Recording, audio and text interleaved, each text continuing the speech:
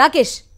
కేసీఆర్ గారి నాయకత్వం పట్ల మునుగోడు నియోజకవర్గ ప్రజలకి నల్గొండ జిల్లా ప్రజలకి తెలంగాణ ప్రజలకు ఉన్న నమ్మకానికి విశ్వాసానికి ప్రత్యేక ఈ ఎన్నిక ఫలితం. తప్పకుండా ప్రజలు కేసీఆర్తోనే ఉన్నారనే విషయాన్ని మరొకసారి మునుగోడు ప్రజలకు చెప్ తెలియజెప్పారు అంటే బీఆర్ఎస్ పార్టీకి శుభసూచకంగా భావించవచ్చా తప్పకుండా దేశ రాజకీయాలకు కూడా ఇది దిక్సూచి అవుతుంది. మేము బీఆర్ఎస్గా మారుస్తున్న క్రమంలోనే హడావుడిగా ఈ ఎన్నిక తీసుకొచ్చి బీజేపీ కేంద్ర ప్రభుత్వం ముందుకు తీసుకొచ్చి పెట్టినారు. అయినప్పటికీ కూడా ప్రజలు టీఆర్ఎస్ వైపు ఉన్నారు అంటే బీఆర్ఎస్ వైపు ఉన్నట్టు లెక్క. కేసీఆర్ గారిని మీరు ముందు నడవండి. కేసీఆర్ గారు మేము ఉన్నాం.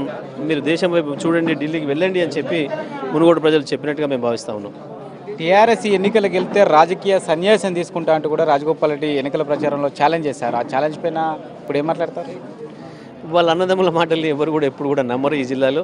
అట్లాంటి ఛాలెంజ్లు చాలా చేసి ఉంటారు వాళ్ళు ఎన్నికల్లో ఇచ్చిన ఏ మాటను వాళ్ళు అమలు చేసిన వాళ్ళు కాదు. ఎన్నికలలో ముందు చేసిన ఏ ఛాలెంజ్ను కూడా వాళ్ళు చేసిన వాళ్ళు కారు. మళ్ళీ ఆ ఛాలెంజ్ మీద నిలబడే వాళ్ళు కూడా కారు.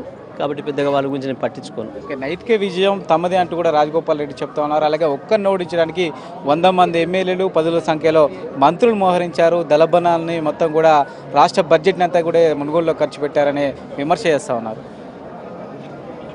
మమ్మల్ని ఓడించడానికి స్వయంగా ప్రధానమంత్రి స్థాయిలో ఉన్న వ్యక్తి అమిత్ షానే దిగి వచ్చిండు. కేంద్ర మంత్రులు ఇతర రాష్ట్రాల ముఖ్యమంత్రులు అందరూ వచ్చిండ్రు. భారతదేశ బీజేపీ పార్టీ మొత్తం కేంద్ర ప్రభుత్వం మొత్తం కదిలి వచ్చి మునుగోడులో కూర్చున్నా సరే కేసీఆర్ గారిని ఓడించలేకపోయినరు.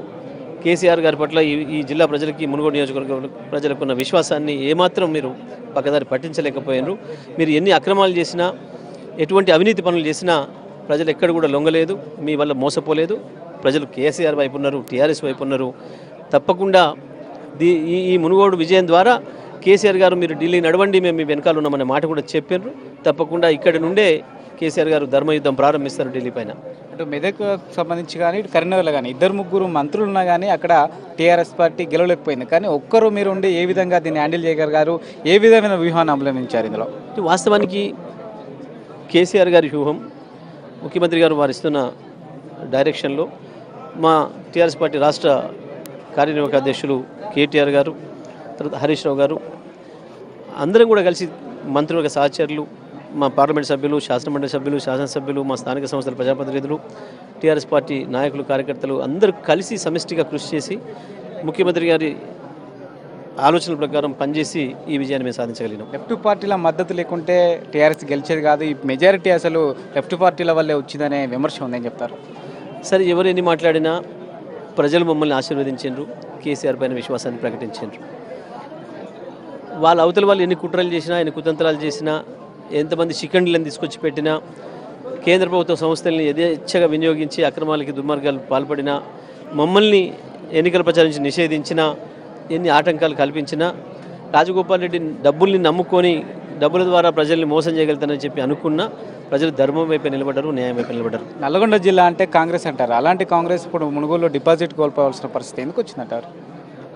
అది కాంగ్రెస్ పార్టీ స్వయంకృతాపరాధం కాంగ్రెస్ పార్టీ పట్ల ప్రజలకు విశ్వాసం లేదు అనేదానికి అది నిదర్శనం. కాంగ్రెస్ ఇక గత చరిత్ర ఈ జిల్లాలో.